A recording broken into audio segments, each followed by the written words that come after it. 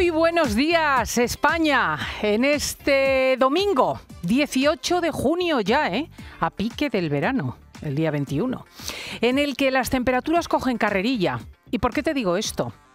Pues porque bajan un pelitín, es verdad, con lluvias por la mitad norte y un frente atlántico que atraviesa la península, pero a partir del jueves próximo, más o menos, nos embalaremos hasta los 42 grados de Sevilla y Córdoba, los 41 de Badajoz o los 36 en Valencia. Esto nos anunciaba ayer nuestro Jorge Olcina.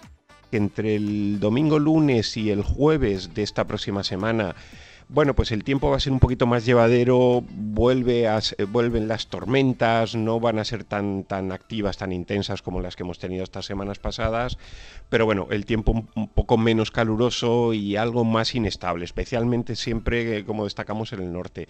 A partir del viernes de la semana que viene, golpetazo fuerte de calor, eh, o sea que preparémonos porque podríamos hablar ya de la, la primera, bueno, pequeña ola de calor, ¿no? Así importante que vamos a tener en España, por tanto fin de semana que viene va a ser un fin de semana caluroso y los últimos días de junio también.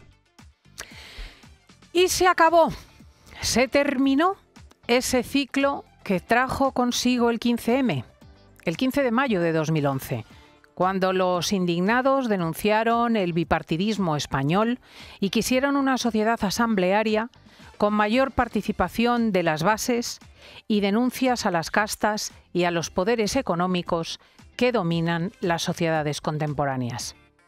No todo fue despreciable de aquello, ni malo, en esa ola.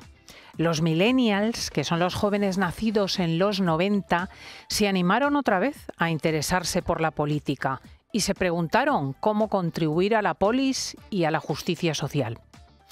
Lo que pasó es que los líderes de los que acamparon en las calles se subieron a los cargos públicos.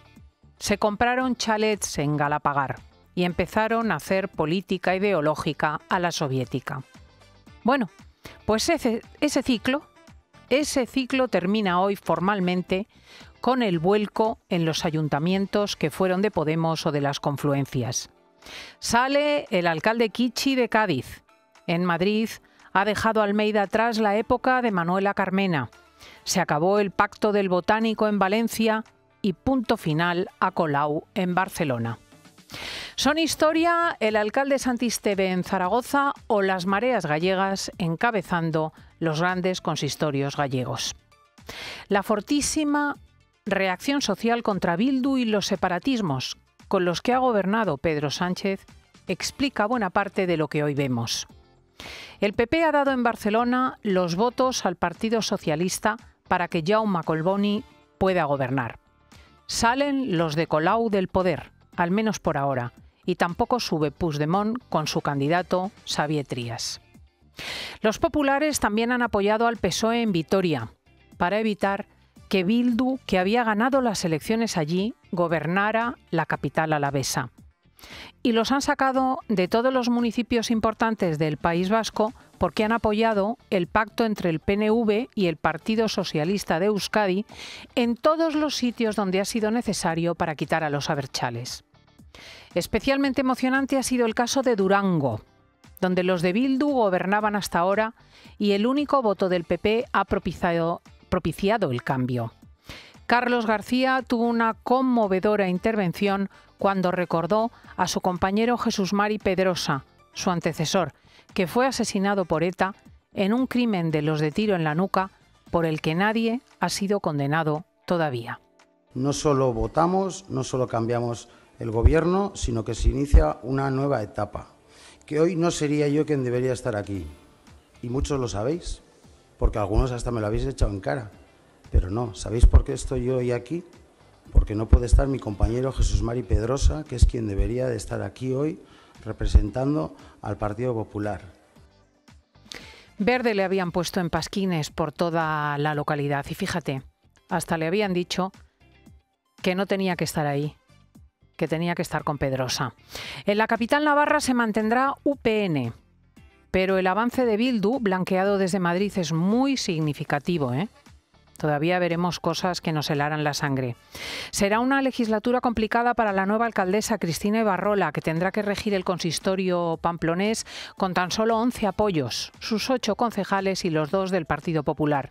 Los socialistas navarros han votado en blanco. El cambio de tendencia en España ha puesto en el altar del sacrificio a Podemos. Para lavar la cara del nuevo proyecto de ultraizquierda, que ahora se llama Sumar, han sacrificado a Irene Montero. Quiero agradeceros todo el apoyo, todo el cariño y los esfuerzos de tanta gente estas semanas para levantar un veto injusto que Yolanda ha decidido mantener. La verdad es que la ministra no ha hecho nada que no compartiese Yolanda Díaz. Pero esta no quiere mancharse las manos con los trastos rotos del sí Fuera Irene y pactito de segunda con Podemos que al menos evita su desaparición. Como hoy dice en el diario El País Pedro Sánchez, la coalición con Sumar sería más fácil. Con Díaz trabajamos de manera leal. Nuestro aliado natural después del 23 de julio pues será la conformación de un gobierno de coalición progresista con eh, Yolanda Díaz y con Sumar, que por cierto, después de estos cuatro años, pues lo que puedo decir es que puede ser un gobierno de coalición más fácil y más funcional, porque hemos trabajado de manera leal y yo creo que bastante eficaz en eh, todas las leyes que han tenido que ver con Yolanda Díaz y también con lo que representa hoy Sumar. Es una forma de decir, los malos han sido los de Podemos, los desastres son de ellos. Votadme, votadme a mí.